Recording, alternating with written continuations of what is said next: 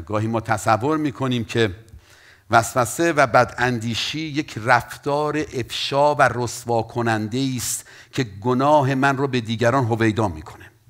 قافل از این که هر تفکری در ذهن من که می‌خواد دلیل سردی و ناامیدی و نگرانی و ترس و خستگی بشه باعث کینه در دلم بشه باعث این بشه که رابطه خراب بشه این نیز به دام افتادن همین وسوسه هستش.